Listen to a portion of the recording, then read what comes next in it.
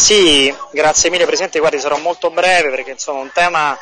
eh, che in realtà richiederebbe molto, molto tempo, molto dibattito, ma eh, anzi fortunatamente in Italia eh, non avviene, perciò è un festival che avviene soltanto eh, in Cina, esattamente nella città di Yulin, comunque insomma parlarne e eh, sensibilizzare anche i cittadini romani eh, fa sempre bene. È un tema molto, molto sentito, eh, sia per quanto riguarda eh, ciò che accade in termini di violenza su, sugli animali, animali di affezione così come sono considerati in Italia,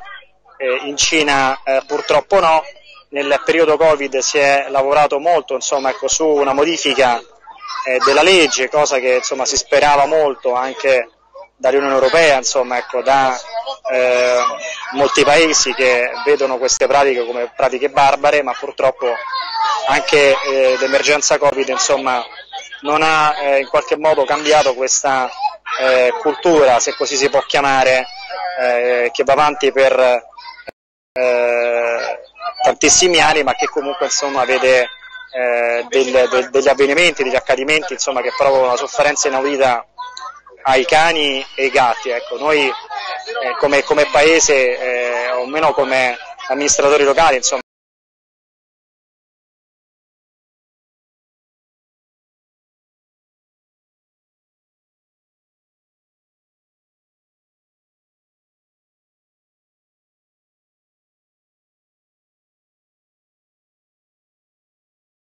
come amministratori locali, insomma, ecco, io come Presidente della Commissione Ambiente non,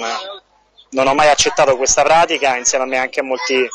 eh, colleghi della, della, maggioranza, io ho ritenuto importante sottoscrivere la mozione del consigliere Filiomeni con il quale abbiamo comunque sempre condiviso eh, questo tema, un tema eh, del benessere animale, perciò non posso che votarla a favore, eh, sperando che il governo italiano si faccia in qualche modo portavoce eh, di una questione che comunque eh, vede uniti tutti i cittadini italiani su un tema di sensibilità eh, di benessere animale, di civiltà